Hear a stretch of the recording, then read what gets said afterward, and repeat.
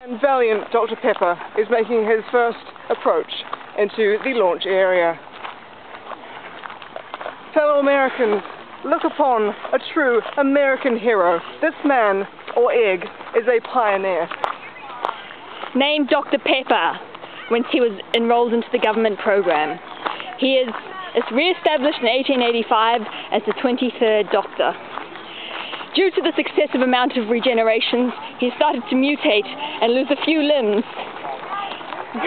Now his body consists merely of Christopher Eccleston's head.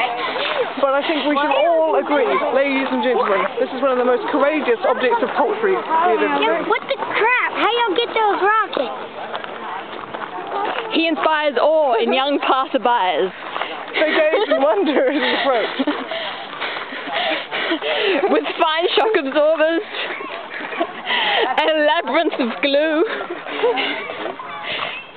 we hope the best for his journey. He will soldier on.